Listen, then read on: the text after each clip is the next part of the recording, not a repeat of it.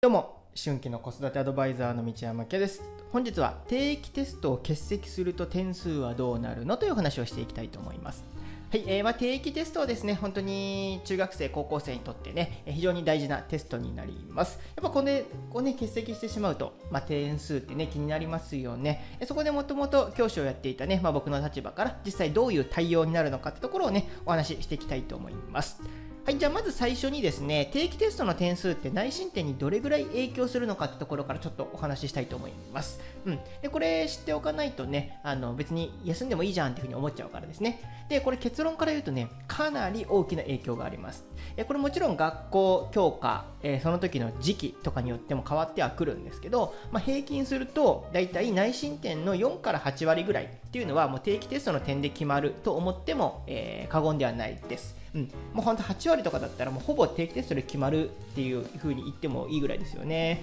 うんまあ、それぐらい大きな影響があるよっていう風にね、え、まず思っておいてください。まあ、だから結局ね、休んでもし0点とかになったら、もう内申点も一気に下がるってことはね、ちょっと頭の中に覚えておいてください。で、これ逆に考えると、もしね、え例えば受験の前に内申点がちょっとなかなか上がらなくてね、どうしよう、えー、どうしたらいいんだろうって悩んでいたとしたら、もう定期テストの点を上げるのが一番簡単ですね。うん。あの、本当に例えば40点の子が80点とか取ったら、すぐに評価は上がる、えっ、ー、と、例えば、評定3が評定4になるっていうふうにね、えー、思ってください。それぐらいね、大きな影響があります。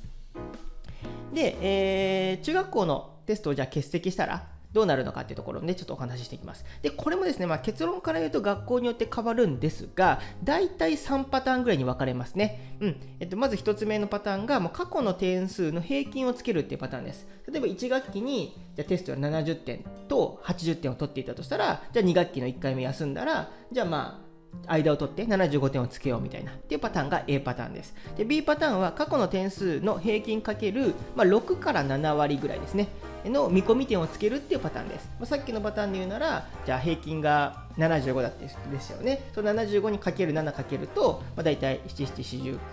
うんまあ、50点ちょいぐらい、55点とか、まあ、それぐらいをつけるっていうパターンです。であとは0点っていうパターンもあります。うん、だから学校とかによって変わるんですけど、えー、まあ、一応僕のね、えっと、いろいろ聞いた感じからいくと B パターンですね、ま、見込み点をつけるパターンが、まあ、一番割合としては多いかなと思います。ただ、これ実際サボりか出席停止かとかによっても変わってくるんですよ。うん、例えば、もうめんどくせえ学校に行きたくねえとか言ってね、で、行かない場合、これはもうさすがに0点ですよね。うん、あのー、別に点数つける意味がないじゃないですか。でも、例えば、じゃあ、どうしてもね、コロナとかで行きたくても行けない、いわゆる出席停止の場合、まあ、例えば7割つけちゃったら、さすがにかわいそうだから、まあ、平均つけてあげようかっていうパターンもあると思います。うん。だから、これは学校のね、まあ、いわ言ってしまえば、その学校の校長先生とかの結構判断に決まることが多いので、まあ、もし、あの、どうしてもね、やばいって場合は、一回事前にね、担任の先生とかに一回聞いておくと、まあ、ある程度、教えてくれるかなと思います。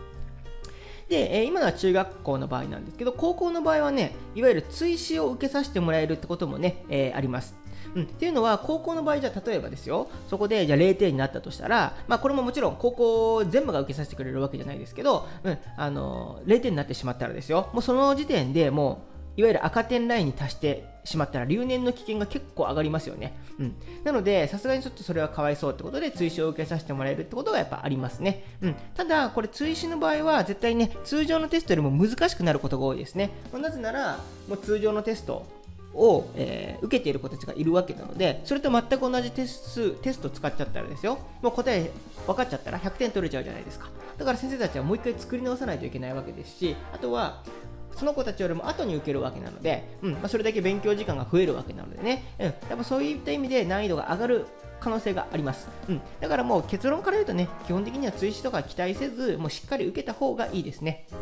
もちろん通試受けずにね、これ中学校と同じパターンで見込み点をつけられたりとか、過去の点数の平均をつけられたりとか、まあ、そもそも0点になるとかってこともやっぱありますので、うん、だから、えー、あんまり期待はしない方がいいかなと思います。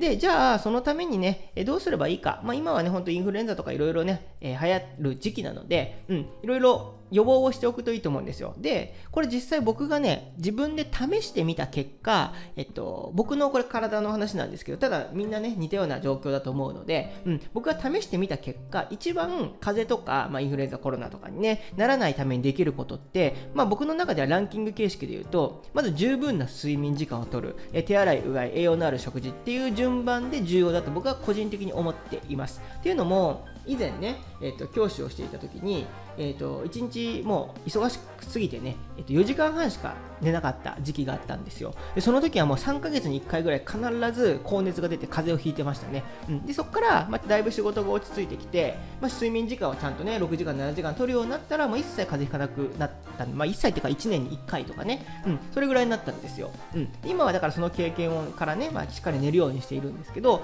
まあ、その後コロナとかで結構手洗いうがいをしっかりするようになったじゃないですか。でそれになってからもう本当にね風邪ってやっぱひかなくなったんですよねだからこの2つってすごく重要だなと個人的に思っています。であと、ま、栄養のある食事、まあ、これはよく言われていることですけど、やっぱりね、えー、中学生、高校生の子とかだと結構ね、あの栄養が偏っちゃう子っているんですよね。まあ、お菓子とかしか食べないとか。そうなるとやっぱ風邪ひきやすくなるので、ここはね、まあ、注意していただくといいかなと思います。まあ、あとこれ体のにね、合う場合のみですけど、僕は個人的にはね、結構風邪だなと思ったら、葛根湯とかを飲む、早めに飲むと、まあ、結構すぐあの良くなりますね。まあ、合う合わないがあったりもするので、うん、あと、まあ、葛根とは年齢とか多分ないかちょっとわかんないんですけど、うん、まあ、その辺はちょっと一回、もし気になったら、うん、あのーなんかドラッグストアとかでね、薬剤師の方に相談してみるといいかなと思います。うん、であとまあもう一個できることとしてはねやっぱ人混みとか行くと本当に風邪ひきやすくなると思うので、まあ、行くんだったらね、まあ、マスクしていくとか、まあ、できるだけ行かないようにするとかってことをすると、まあ、よりねあの万全な状態でテストを受けられるかなと思います。はい、ということで今回はテストを欠席すると点数はどうなるのかっていうことでねお話ししましたもうちょっと細かい説明はねホームページにまとめてあるのでよかったら概要欄からこちらもチェックしていただければと思います